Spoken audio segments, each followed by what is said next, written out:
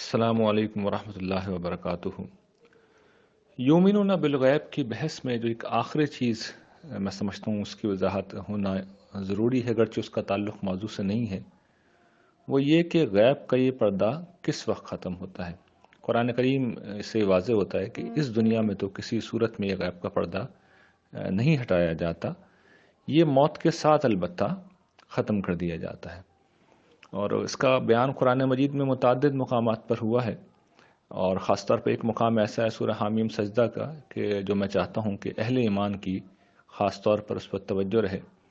اللہ تعالیٰ ارشاد فرماتے ہیں، ان الزین قالو رب اللہ سمستقام تنزل علیہم الملائکہ، اللہ تخاف ولا تحزن و افشر بالجنت التی کن تم تو ودون مطلب یہ ہے کہ وہ لوگ جنہوں نے کہا کہ اللہ ہمارا رب ہے اور پھر اس پر جم گئے۔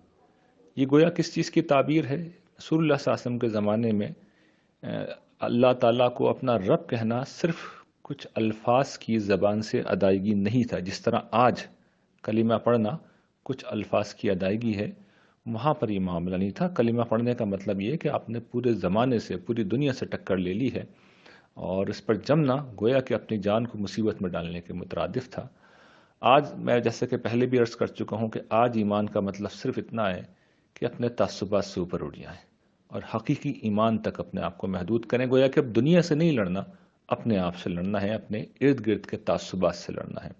لیکن اس کا بدلہ انشاءاللہ ایک ہی ہے، اور وہ یہ کہ جیسے ہی موت کا وقت آتا ہے تو فرشتے ان لوگوں پر نازل ہوتے ہیں اور اس خوشخبری کے ساتھ کہ تمہارے لیے نہ کوئی خوف ہے، نہ کوئی حزن ہے۔ خوف کس چیز کا؟ کہ مستقبل کی دنیا پتہ نہیں کیسی ہوگی۔ تو وہ بتاتے ہیں کہ آگے جو بھی ہوگا، آگے آ رہا ہے اس کا بیان کہ کیا ہوگا، لیکن وہ کہتے ہیں پریشان نہ ہو، آگے بھی سب ٹھیک ہوگا۔ اور حزن کس چیز کا؟ ماضی میں بیوی پیچھے رہ گئی، شوہر پیچھے رہ گیا، بچے پیچھے رہ گئے، تو تسلی دیتے ہیں انہیں کہ اطمینان رکھو، ان کے معاملات بھی دیکھ لیے جائیں گے۔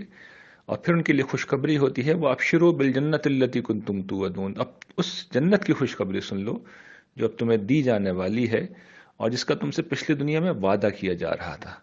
اور پھر فرشتے یہ بتاتے ہیں کہ دیکھو نہن اولیا کم فی الحیات دنیا و فی الآخرہ ہم ہی تھے تمہارے مددگار، پچھلی دنیا میں بھی، دنیا کی زندگی میں بھی اور آخرت میں بھی ہم تمہارے ساتھ ہوں گے۔ یہ کس چیز کا بیان ہے؟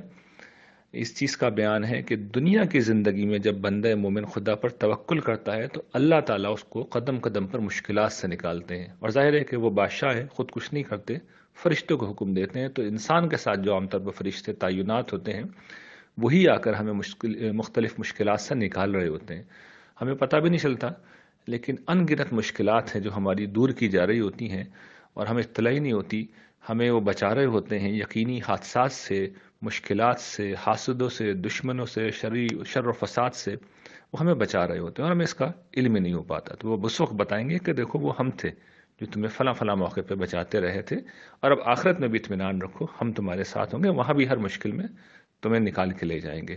اور پھر بتاتے یہ ہیں کہ ولاکم فی ہما تشتہی انفسکم ولاکم فی ہما تدعون کہ تمہارے لیے اس جنت میں جس کا تم سے وعدہ کیا جا رہا ہے، وہ جس کی خوشخبری تمہیں دی جا رہی ہے، جو تمہارا دل چاہے گا، تمہیں دیا جائے گا اور جو تم مانگو گے، تمہیں عطا کیا جائے گا۔ تو جس روز غیب کا یہ پردہ اٹھے گا، اس روز جو لوگ غیب پر ایمان لائے ہوں گے، وہ سب سے زیادہ خوش نصیب ہوں گے۔ ان کی زندگی میں صرف خوشیاں ہوں گی، سہولتیں ہوں گی، آسانیاں ہوں گی۔ اللہ تعالیٰ سے دعا ہے کہ وہ ہم کو ایسے لوگوں میں ہی فرما دے۔ الحمد رب العالمین۔